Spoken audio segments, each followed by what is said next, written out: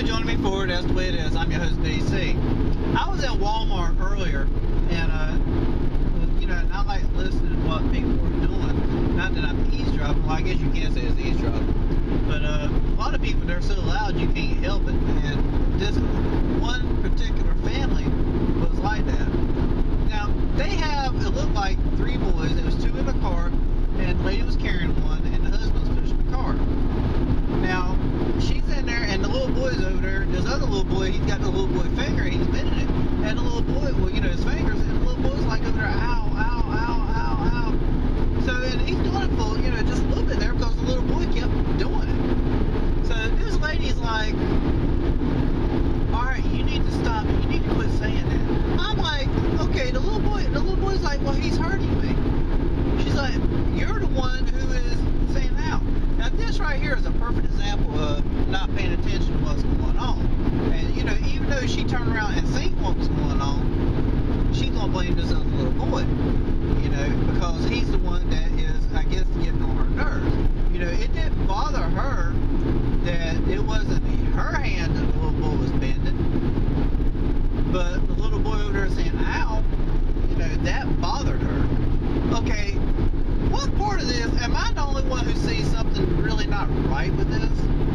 And, you know, the little, and the ladies over there talking about, uh, you know, telling the cashier as I'm walking off, y'all got the baby food back there. People actually steal baby food. I'm like, what? And the lady says, uh, yes.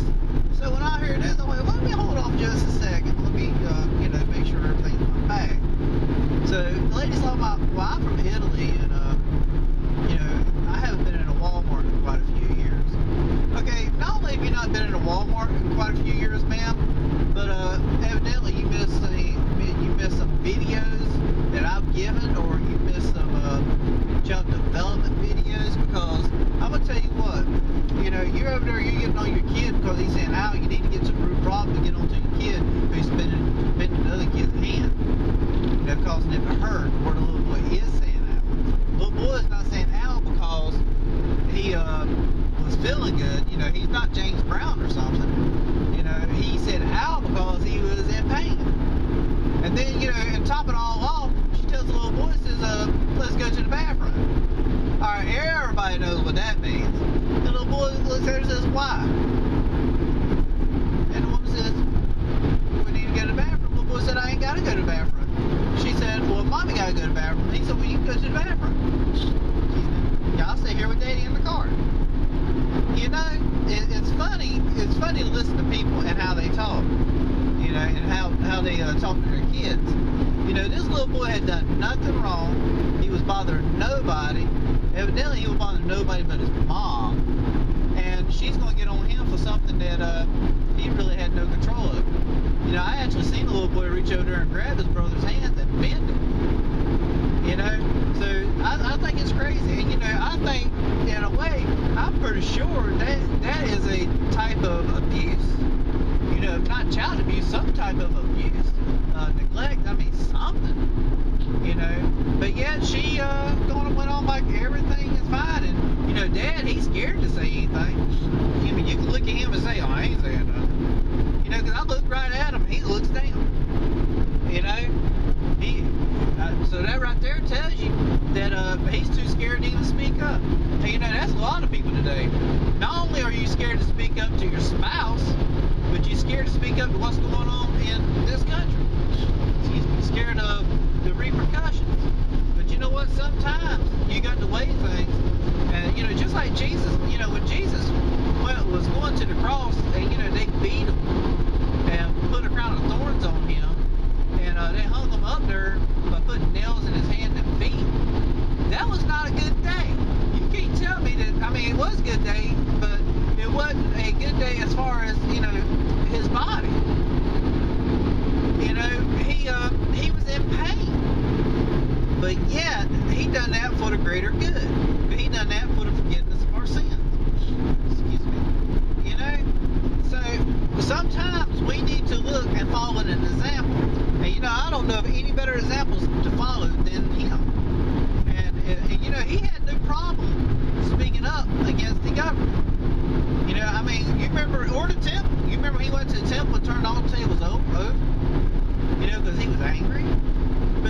wasn't angry like we get.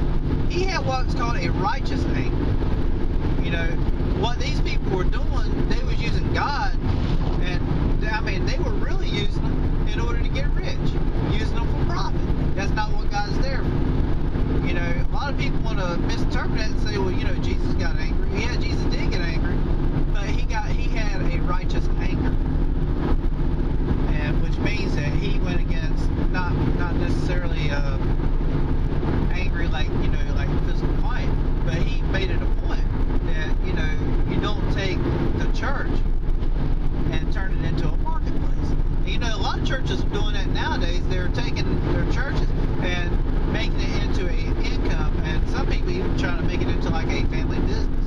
That's not what church is there for. Church is there for you to go and uh, it's not like a group or organization you go to. Uh, it is a place to go and worship. And and be honest with you, church, you don't have to worship in church. There's no word that says that you know church you have to go to church in order to worship God. You know when Jesus' disciples are here, there, there was the church was wherever you were standing at, whether it be in the woods, whether it was in the marketplace, uh, in someone's home, um, out in the field, by the sea. I mean, that's where your church was. It wasn't a building. A church was the body of people. So, uh, I'd for you to subscribe to the channel, like the channel, uh, share the videos, and comment. Uh, let me know what you think. You have a wonderful day, and thanks for joining me.